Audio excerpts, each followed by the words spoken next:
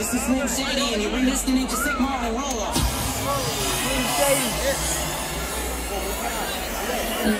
This is a motherfucking sick drop.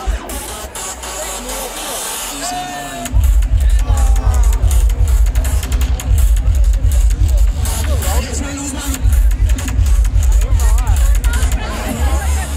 a motherfucking sick drop.